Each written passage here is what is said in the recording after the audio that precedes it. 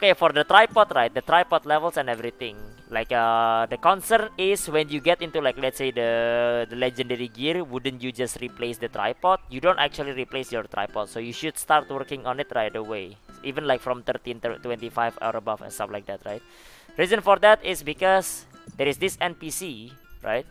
The tripod uh, thing right here uh, but, but you also have your inventory. It's called tripod library in in like uh, in other version basically. So what you can do here is you can save a tripod over here right?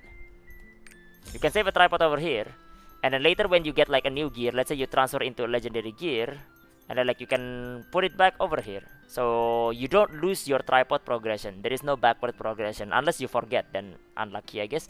But yeah don't forget to save your tripod whenever you actually finish like you know uh, putting the tripod in so that's why you should still work on your tripod even at the start of tier 3 right away.